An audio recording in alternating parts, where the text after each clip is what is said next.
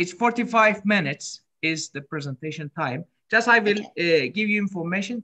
Thanks a lot, dear Linda Yueh. Initially, I would like to say thanks uh, for joining International Symposium on Economic Thoughts as our keynote speaker. Uh, I think the topic that you will give speech is the great economies and how their ideas can help uh, uh us today.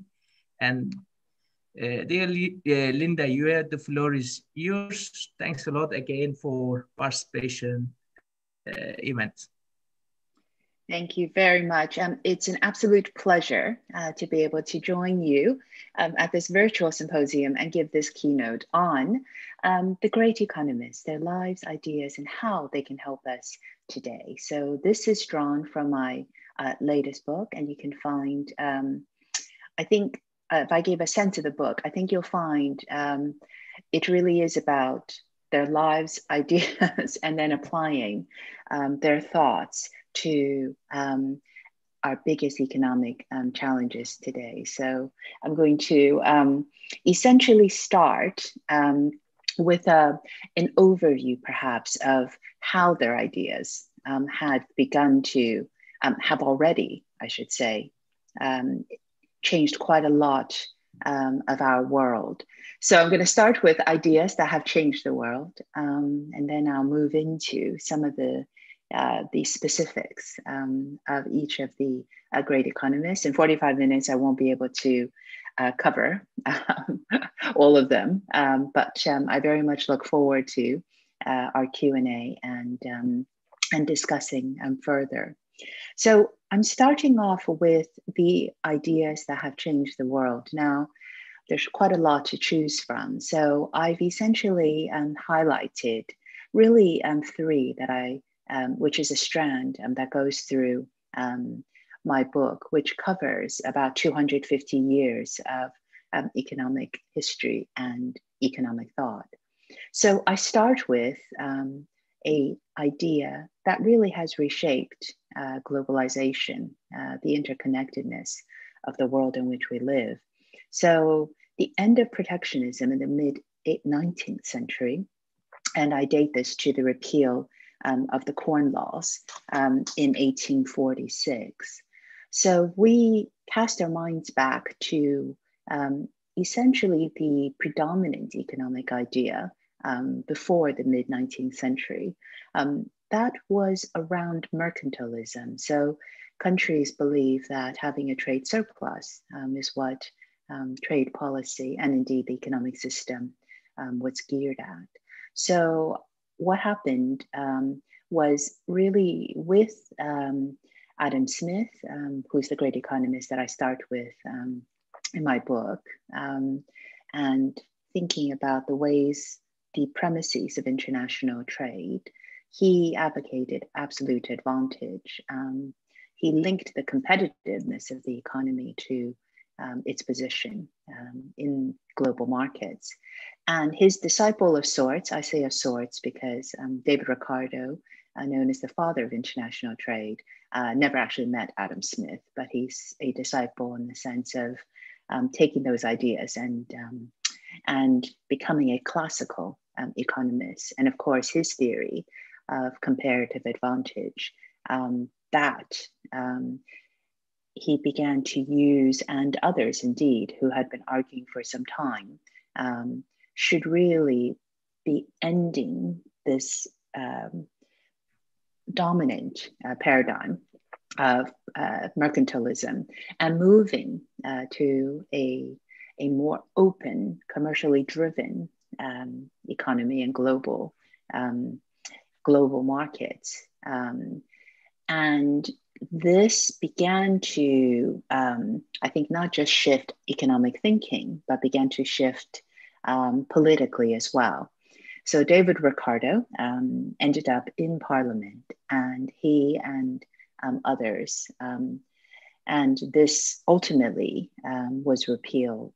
Uh, the Corn Laws were repealed after the death of David Ricardo, so he never saw the fruits of of, of his uh, his thoughts. Um, but the uh, the momentum it created meant that um, the Corn Laws, which were a tariff on imported grains um, of you know, which protected landowners.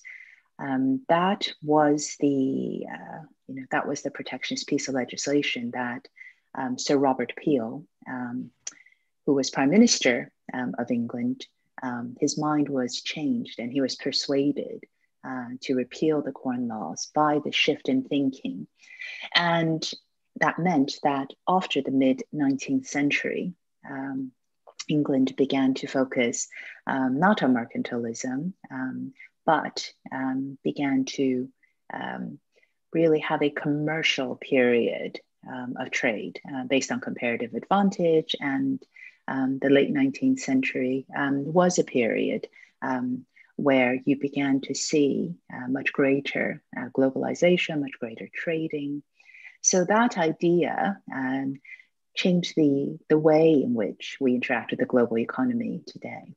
Now, of course, um, this idea of mercantilism being the preferred um, system does come back. And so clearly, um, ideas don't go away, they just have periods of ebbs and flows. Um, but the second um, idea um, that changed the world in which we live um, actually follows from um, the first uh, change that I just outlined. So the emergence of the welfare state, um, really, I think, after World War II, that you can trace to the uh, the first uh, period that I described of significant economic change. So the you know the economic consensus, which is another way of thinking about how um, the end of protectionism changed the system, it changed the economic consensus from one which was more mercant- mercantilist to one that was based on comparative advantage. But that economic consensus, um, more broadly speaking, beyond trade, began to break down um, in the latter part of the 19th century. So what we saw was there was a, a panic um, of 1876 in the United States, a, a railroad um, speculative bubble burst, and that financial crisis spread across the Atlantic and affected um, England, it affected um, Europe, and that, um, on top of the fact the late 19th century um, was also the period of the Gilded Age, and that was a term used by novelists like F. Scott Fitzgerald um, for to describe the level of income inequality in the United States um, in that time. So the financial crisis, um, plus high levels of inequality, and uh, a number of recessions um, in the latter part of the 19th century um, led to actually unemployment um, appearing in the dictionary for the first time. And that began to the economic consensus um, that was and that was seemingly there from the time of Adam Smith, the Industrial Revolution, um, ending protectionism. Um, that consensus began to break down in the late 19th century. So that was also the rise of um, the period of the rise of Marxism, Karl Marx, um, a German economist who saw exactly the same industrial revolution as the classical economists um, like David Ricardo, um, but um, he drew a different conclusion. Um, he thought that inevitably inequality and uh, you know, the globalization's losers, the spread of crises, that that would push uh, towards communism. So, what we saw was the economic consensus breaking down and a battle of ideas um, emerging in the late 19th century and the early 20th century. And with the Bolshevik Revolution in 1917 um, in Russia, um, began to see the spread of communism. And it wasn't just communism, it was also socialism. So by the early part of the 20th century, an estimated 40 to 60% um, of the world's populations lived in communist or socialist type regimes around the world. So that really led to a battle of ideas over how capitalism um, um, needed to change uh, to adapt uh, to provide um, a welfare state. And that's not a straightforward um, path. So, what I'm describing in terms of the rethinking of the economic consensus, the economic system, um, which started um, really um, in the late 19th century, sort of, bef- and what I described on, on perhaps the, the other side of the battle of ideas, there was a parallel development happening within classical economics. So, um, the Cambridge economist Alfred Marshall um, he i tell his story um, in the book and he was initially quite resistant to the idea of welfare uh, transfers because he thought it would disincentivize work. However he was concerned about um, the emergence of unemployment of poverty. And so what um, his thinking um, during this period um, and this again in England was the late Victorian period. And so there was a lot of focus on the deserving poor at the time. And this was also the period of the rise of philanthropists. Um, you know, so one example is uh, Baroness um, Angela Burdett Coutts, uh, who worked with uh, a Coutts client, Charles Dickens, the novelist, uh, who was highlighting the plight of the poor and the she was working with him to do charitable uh, support um, for uh, for poor communities. So within that social milieu, um, Alfred Marshall looked at the evidence that it seemed that, for instance, um, supporting uh, pensions wasn't having a disincentivizing effect on work, and then that began to, uh, I would say, uh, form um, that side of the battle of ideas where capitalism can include a welfare state and still, um, you know, and still deliver uh, the market-oriented um, benefits that had been seen throughout um, the Industrial Revolution. So um, it really took, though, until the end of World War II. Um, and of course, in this period, there was the New Deal in the um, uh, in the UK, uh, the creation of the National Health Service. So that transformed the capitalist system into what we have today, which is welfare state capitalism um, in many advanced economies. And then that began to sway the battle of ideas between those who preferred a communist system and those who um, wanted to stick with a reformed um, capitalist system. So this battle, though, probably wouldn't uh, be considered to have been concluded um, until the fall of communism um, in the late 1980s um, and going into the early uh, 1990s.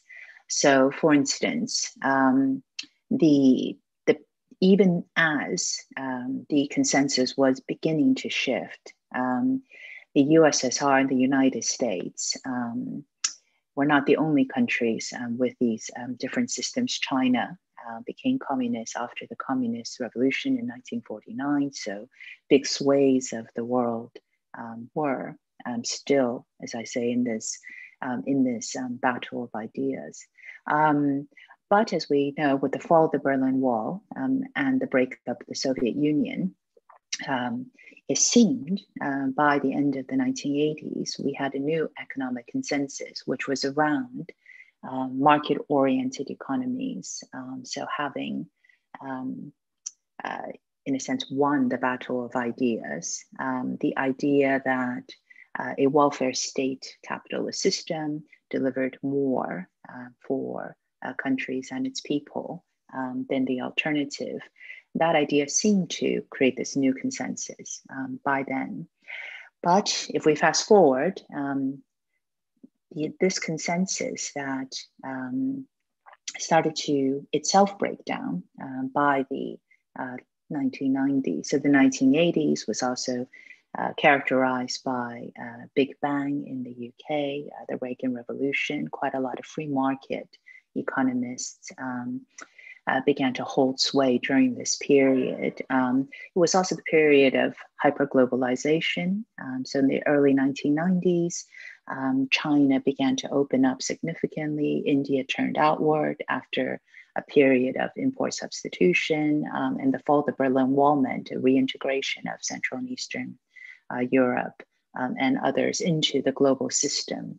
Um, and with globalization or hyperglobalization, as that period has been described, um, we saw protests against uh, globalization creating losers. For instance, at the 1999 WTO World Trade Organization meeting, um, we began to see an increase in inequality um, that by the early part of the 21st century had gotten so significant in the United States. Um, it's been dubbed the second Gilded Age. So we are now again in a period where um, there is a backlash against globalization, where um, the breakdown in economic consensus means there is a search for alternatives and, um, and questioning uh, this economic system. So with that, I want to, um, to look at um, some of the uh, more granular details of some of these ideas. But I hope this, this sweep um, of brief sweep of economic history um, gives a sense of uh, some of the ideas um, that have been influential. And I think importantly for me to stress that um, this breakdown of economic consensus, um, you know, historians and all of you will know well, um, is a recurring theme. And in this period, we are again experiencing uh, this breakdown um, in consensus. So this is not this is a time where new ideas could change uh, the world once again. Um, and certainly throughout history, we've seen um, that it can take some time, uh, but the ideas, uh, the economic ideas, the, the economic thought um, that came before us um, have transformed um, the world in which we live. And um, we can learn lessons from those ideas that could help us with our biggest challenges today. Um, but before I go into some of those ideas, I might just um, uh, repeat a quote from Mark Twain, the American writer, who said, History doesn't repeat itself, but it often rhymes. So there won't be uh, exact parallels from history, um, but there could be useful tidbits um, that can, we can take um, away from the ideas of the great economists. So moving on to the great economists, um, one cannot cover every uh, great economist um, in one uh, book. Um, I focused um, on economists of an earlier vintage. So um, all of the um, great economists um, in my book, except for Robert Solow, uh, you know, are no longer with us. And the great economists that I selected are the ones that um, created or contributed significantly to the seminal models um, in different areas of economics that fit within this larger um, uh, macro growth development uh, theme uh, that I focus on um, in the book, which is about economic systems. Um, it's not, uh, I don't cover micro very much, it's much more about the macro sweep of economic history. So in a very rough dichotomy, you can see there, this is obviously a very imperfect mapping of um, the extent of state involvement and the extent of, um, of free markets. Um, I have mapped there um, um, Adam Smith, uh, David Ricardo, um, and the they are less to the sort of the uh, the end of the, the market spectrum than uh, economists like Friedrich Hayek and Milton Friedman, a very well-known libertarian um, in terms of his view on the markets. And then on the other end um, is Karl Marx, uh, who saw uh, communism as the um, as the outcome of the industrial revolutions, the communist revolution. Um, John Maynard Keynes, um, I placed in between, and the Keynesian revolution of the 1930s um, introduced, um, of course, a role for state intervention um, in um, influencing the economy in the short run. Um, and so, um, as a rough placement, I, I placed him there. Now, you might notice that I've color coded these, so they're sort of roughly uh, in, a, in a very similar stream of, of economic thought. But so therefore, Joan Robinson, who was a disciple of John Maynard Keynes, um, she um, is farther to uh, the state end of the spectrum uh, than Keynes himself, because um, although she was uh, one of the five people entrusted to review his seminal work, The General Theory, um, later on in her life, um, she um, began to embrace communism and she would wear uh, Vietnamese peasant um, um, outfits to give her lectures at Cambridge University. So she started off uh, closer to Keynes, and then later in her life, she began to move, um, as it were, across um, closer to, uh, to Karl Marx. So, in terms of, I'm going to again just focus very briefly on some of the um, the thinking um, um, of the great economists, um, and of course this in you know this will only be picking up um, uh, you know very high level uh, summaries of of where I think um, some of their ideas can contribute to our challenges today, and that's sort of the theme that I'll weave in, and I won't and um, I won't have time to go into it um, in detail, but hopefully that will just give a sense um, as to how um, economic thought from previous periods in history can still help um, us think about our issues today. So Adam Smith, known as the father um, of economics, and um, you can draw a line from his work to uh, the classical economists. Uh, Wealth of Nations, published in 1776, introduced the concept of the invisible hand within markets.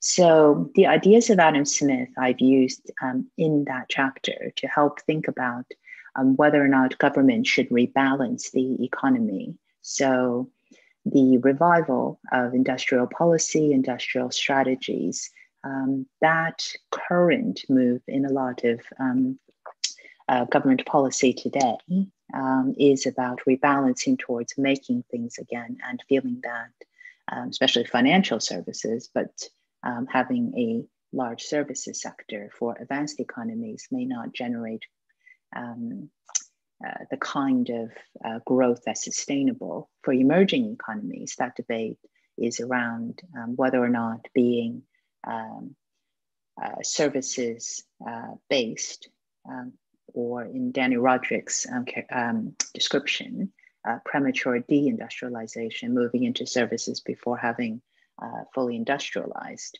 whether that's sufficient to, to boost growth. So this chapter thinks about the ways in which Adam Smith had um, areas in which government could efficiently and effectively intervene and using those ideas to help inform uh, that challenge uh, that's with us today. The second great economist that I focus on is David Ricardo. So, known as the father of international trade, he came up with uh, the theory of comparative advantage. Um, he was a self taught economist. Um, he became interested in economics um, um, after he made a great deal of money as a stockbroker in the city of London. Um, he was on holiday um, and happened to pick up a copy of Adam Smith's Wealth of Nations and taught himself economics. And he didn't just write the theory of comparative advantage, he also coined the term rent seeking, uh, which is um, also um, a very widely used concept and a number of other um, concepts as well. So, David Ricardo's um, uh, chapter, um, I take his um, ideas around comparative advantage um, and clearly the very um, important um, component of domestic competitiveness and efficiency in that chapter. And I use it to think about whether or not trade deficits matter. So, you know, clearly for a lot of uh, it's different for advanced economies as it is for emerging economies. Um, you know, but the domestic component, um, taking advanced economies and thinking about the ways in which a trade deficit is a reflection of a broader domestic piece. Um, I use that thinking of David Ricardo and the, um, the evidence of, of uh, trade deficits mattering and not mattering for um, a lot of countries, uh, to use that to help that uh, to use those economic um, ideas to think about, um, uh, uh, you know, uh, this focus on trade surpluses, which we're uh, beginning to see um, around the world as well, a sort of, you know, a sort of a re-examination of um, mercantilism, I guess, is one way to think about um, this breakdown in consensus um, and this focus on trade deficits and trade surpluses. So that's where the application of that economic um, idea um, is found. Um, Karl Marx is the next great economist that I focus on. Uh, his Communist uh, Manifesto, um, which was co authored with um, Engels, Friedrich Engels, who must be the least credited co-author. um, you know, uh, it's clearly associated with Marx. So his, um, you know, his thinking around capitalism resulting in crisis, revolution, and then communism. In his um, thinking, the trigger for this revolution, he originally thought would be the Panic of 1873. He later on thought the trigger would be um, inequality, um, having seen um, the Gilded Age and having seen the rise of um, uh, inequality and poverty in the latter part of the 19th century. So, in that chapter, um, I take a look at whether or not China, which is a politically communist um, transition economy from a command system of central planning um, and having now moved into um, market oriented growth, um, I use his uh, thinking, his thought, which was very early on um, in the Chinese um, system um, and, and analyze whether or not um, that mixed system that China has means that China can grow uh, prosperous. Um, and it's that the application of this was not just for China, it's also for other transition economies, for instance, um, Vietnam, which underwent uh, Doi Moi in 86, which is another um, introduction of market oriented reforms, much like China's in 1979. The next um, great economist that I focus on is Alfred Marshall, who I've already uh, introduced um, earlier, uh, known as the father of neoclassical economics, the Cambridge School of Economics. Um, and I've described um, his contribution during the late Victorian period when the economic consensus broke down and there was a re-examining of whether or not you should have a welfare state. Um, so I won't repeat uh, what I said um, there before. Um, uh, Irving Fisher is the next great economist that I look at in terms of um, his life and his ideas. Um, he's credited as being the first really um, American great economist. Uh, he shifted the headquarters of economics to the United States. Um, and um, the American neoclassical um, economic school can probably be dated to him. His contributions are numerous. Uh, debt deflation theory is the one I focus on in that chapter.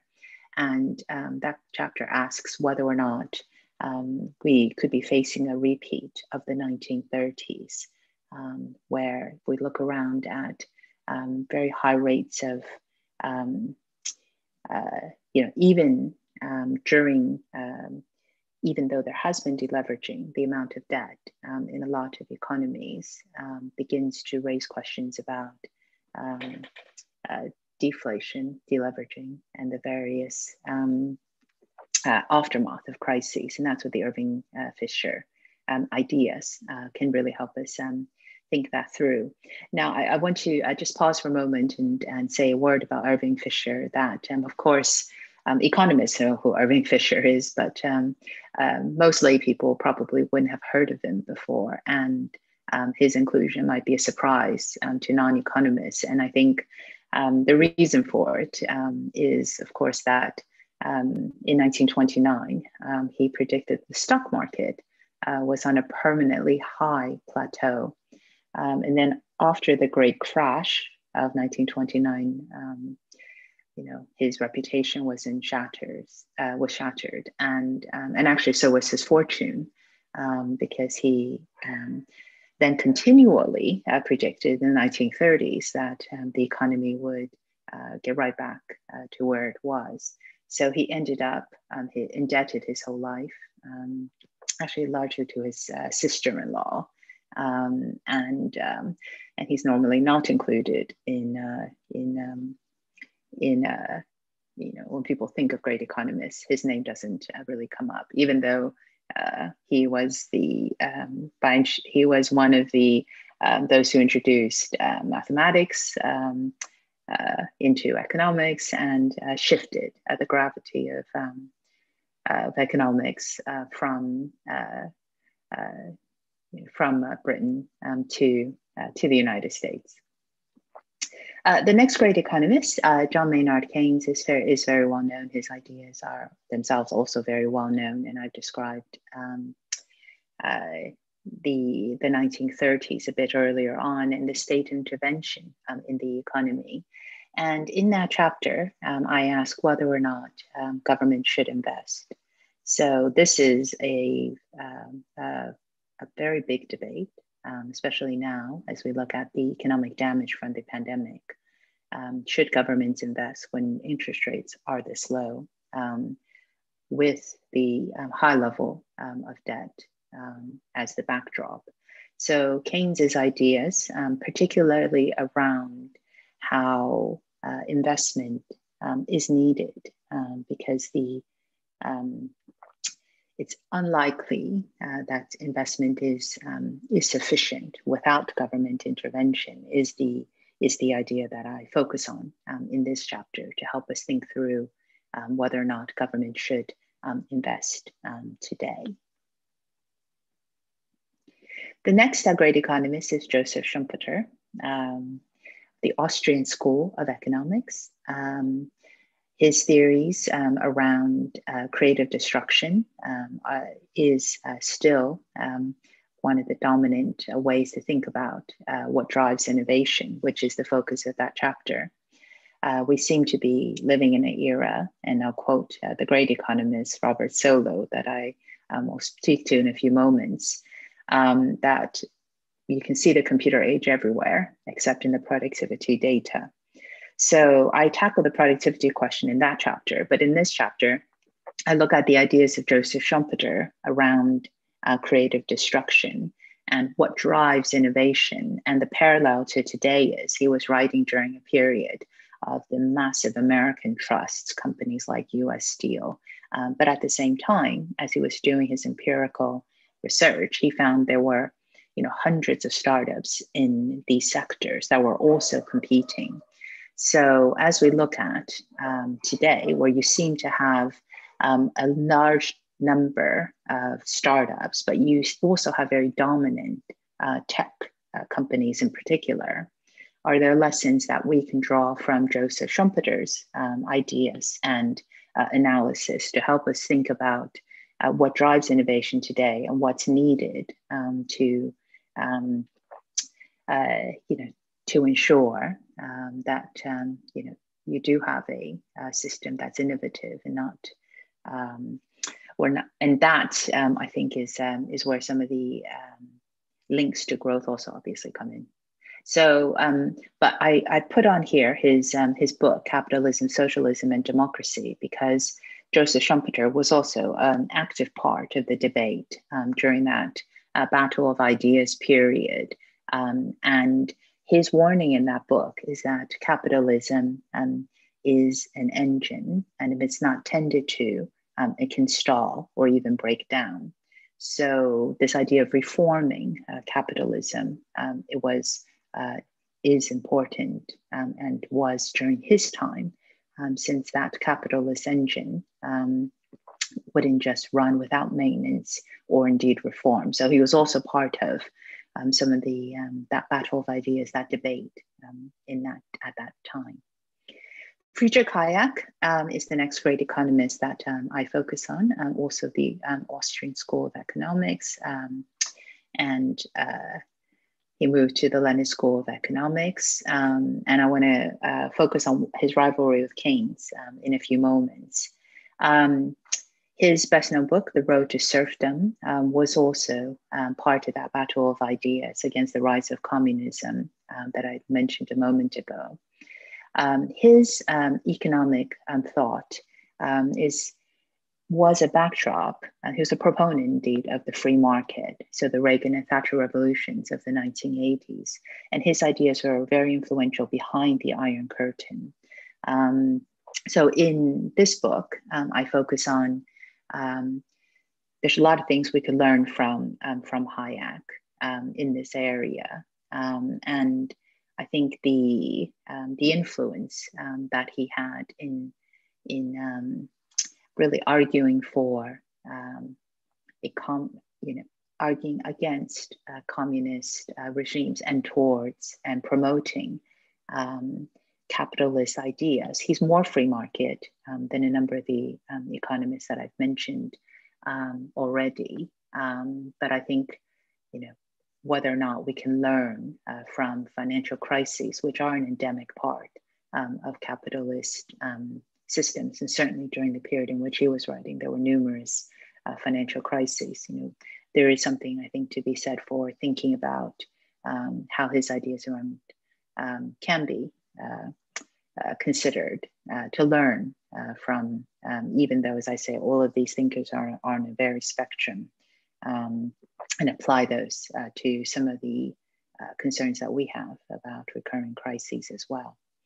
the next great economist, Joan Robinson, um, I described um, that she was a disciple of Keynes earlier on. Um, she was a pioneer of imperfect competition, monopsony, and her, her ideas of disguised and hidden unemployment, um, as well as the concept of monopsony, um, has been uh, revived uh, recently. We saw that um, in a recent Jackson Hole meeting um, in trying to understand why wages are so low. And that is the uh, title of the chapter um, where I look at her work um, in the um, 1930s and the development um, of a monopsony model to try and understand why it is that we have stagnant real wages today in a number of advanced economies. And for instance, in the United States, it's been stagnant for about 40 years, and in parts of Europe, um, about 20 years. And so that's her economic thought um, is very uh, relevant uh, to us today. Uh, Milton Friedman, monetarist, libertarian, um, with Anna Jacobson Schwartz, um, wrote the monetary, A Monetary History of the United States. The Great Contraction um, in Money Supply explains the Great Depression. Um, and this chapter, um, using um, Milton Friedman's, uh, who is, is, you know, remember my original spectrum in terms of his economic thought, you know, are central banks doing too much with all the actions they're taking at the moment? QE, um, as, as well as uh, keeping uh, interest rates very low. So it looks at uh, the challenges of monetary policy um, and unwinding um, some of the support um, in that chapter. Uh, the next great economist who started to look at is Douglass uh, North. Um, uh, the School of New Institutional Economics. Um, he looks at why nations fail, and he um, and his co-authors uh, from political science and other subjects looked at why institutions and how to reincorporate institutions into mainstream um, economic uh, models. So this chapter looks at the question, um, you know, why are so few countries rich? So, you know, a couple of statistics I think tell that story. Um, about a quarter of the world's countries are high income. Um, and the World Bank estimated there were 101 middle income countries in 1960. And by 2008, um, just 13 of those had joined the ranks of rich countries. So this chapter focuses on uh, one of our, our big challenges today, which is, um, you know, why aren't more countries coming out of the middle income strata overcoming the middle income country trap and joining the ranks of, of rich countries. And his ideas help us um, guide us in that way. Uh, Robert Solow, um, the last great economist that I focus on, very well known. Um, and I quoted last, actually the Solow last paradox. Five minutes, sorry for disturbing. yes, thank you. Um, the Solow paradox, um, which I quoted earlier. So this um, this chapter, using his his um, uh, work uh, looks at um, are we uh, are we doomed to a slow growth future? Do we face a slow growth future? And one insight um, that I'm just going to highlight and pull out in the interest of time is just in the late 1990s, uh, Solow's work um, found that productivity did increase um, in that period.